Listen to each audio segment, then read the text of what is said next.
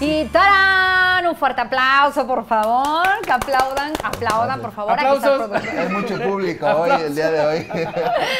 Pues bueno, está con nosotros nuestro compañero que nos va a dar un análisis deportivo, Alfredo Canseco. Bienvenido, como Hola, siempre, Naye, un gusto ¿cómo que estás? estés. Muy bien, muchas gracias. Gustavo, ¿cómo hola. estás? Hola. Ya está enojado, está enojado conmigo. Hola, este, buenas tardes. ¿Cómo estás? Este, tardes, noches, Naye, este, Alfredo ah, que no Canseco. que estoy enojado con es mis un, es un placer que estés en este, en este programa de BBB Deportes. ¿Cómo no vas a, a ver. Gustavo, cómo no, No va a a estar pelear. molesto A ver, ¿por qué? si acabas de decir que va a venir Pumas a Oaxaca a perder? Di lo contrario, Alfredo Canseco. Martes de Alebrijes. Todo depende si Pumas viene con equipo Martes, titular o viene con equipo Oye, oye, hablando de eso que estás comentando de equipo titular, perdón, de que ya entremos en materia con, con respecto a, al análisis y que vas a hablar de la pretemporada precisamente de Alebrijes de Oaxaca, ¿cómo estás viendo hasta estos momentos pues los, los refuerzos que, que están llegando para Alebrijes de Oaxaca? A mí se me está haciendo espectacular el trabajo que está haciendo la directiva. Ahora, a mí me parece que la directiva y Ricardo Rayas hicieron un análisis muy puntual de lo que, de lo que neces- neces- necesitaba perdón, Alebrijes para apuntar el equipo.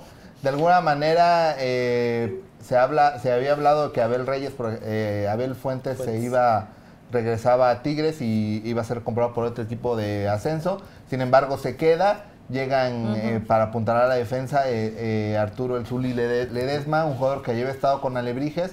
Sin embargo, Alebrijes no era dueño de su carta y tuvo que, que regresar al, al club que pertenecía. Viene para apuntalar una defensa junto con Pablo de Miranda y con, este, con Diego Mengi. Yo creo que por ahí el tema de las lesiones le preocupó a la directiva y quiere Claro. tener dos o tres jugadores en cada línea, pues para no sufrir como sufrimos en el torneo pasado.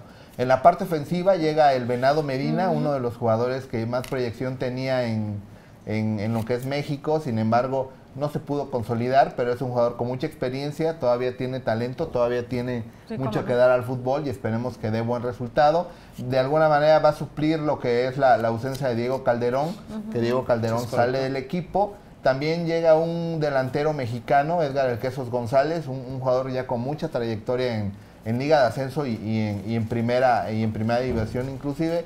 Y yo creo que se va a poder eh, conformar una buena delantera con el Venado Benina, con Dani Santoya y con el Quesos González que llega. Oye, y por cierto, que le van a dar la oportunidad también a un oaxaqueño, cabe destacar. A ver, Bueno, Fuentes. eh, regresa eh, lo que es el Chema Ajá, Mar- Chema. Martínez.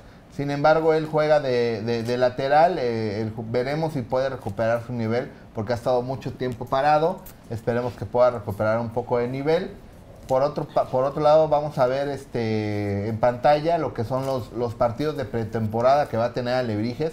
Va a tener partidos con cuadros importantes. Estamos viendo, juega con Atlas, con América, Toluca, Pachuca, Morelia y cierra la pretemporada aquí en el estadio de Benito Juárez enfrentándose a su filial, al hermano menor de Alebrijes, que es Chapulineros de MRCI, donde esperemos que se llene el estadio para ver a los dos equipos profesionales de, de Oaxaca.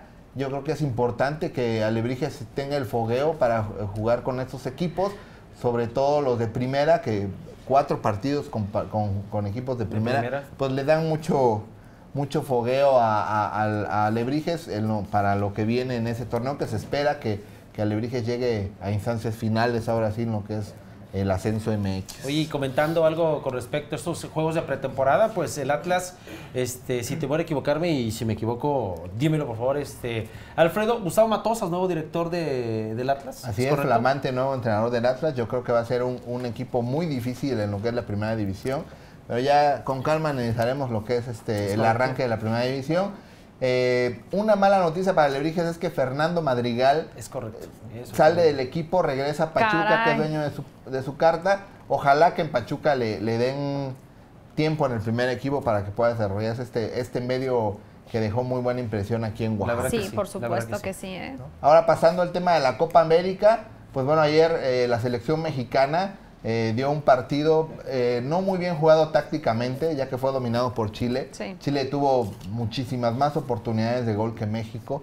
Sin embargo, México se mostró contundente, sobre todo este Bozo, este delantero argentino naturalizado mexicano, que todo el mundo lo criticó, inclusive yo no pensé que fuera a dar eh, los resultados que dio, sin embargo mete dos goles, ahora sí que salva la, la plana por parte de Ah, México. siempre se llevan sorpresas. Así es, esperemos que México, pues, eh, con ese resultado eh, tenga más confianza para enfrentar el último partido que es contra, contra la selección de Ecuador, que Ecuador tiene cero puntos, que es la decepción del torneo. Es correcto. Ahorita están Hay jugando Argentina ¿no? y Uruguay, están empatando a cero. Una Copa América con muchas sorpresas. Los, los grandes no han despegado, los chicos les han pegado a los grandes.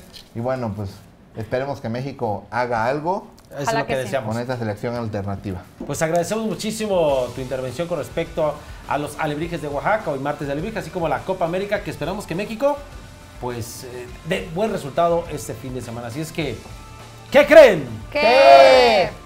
Programa. ¿Cómo? Encantados de seguir platicando Gracias. Alfredo, por este. permitan dos minutos más. Si saben cómo hablo, ¿para qué me Dos invitan? minutos, pero generosos, cómo no. Gracias, Alfredo, por este análisis eh, deportivo. Muchísimas gracias, público querido, por su atención. Nos vemos hasta mañana. Gracias, Gustavo. Igualmente, Nayeli Ortiz, gracias, Alfredito. Se despide su servidor Gustavo Gutiérrez. Recuerden que con Alebrijes de Oaxaca, hasta el final. Hasta pronto.